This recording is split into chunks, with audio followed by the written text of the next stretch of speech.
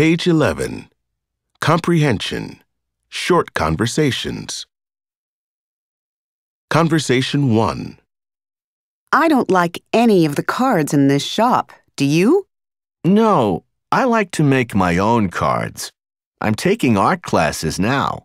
I have such a good teacher that you can't tell the difference between my cards and the ones in a shop. Conversation 2. Look, I'm getting everyone else's mail in my mailbox. What's wrong with this postal service anyway? I don't know, but my mail is always late these days. Conversation 3. Can I help you?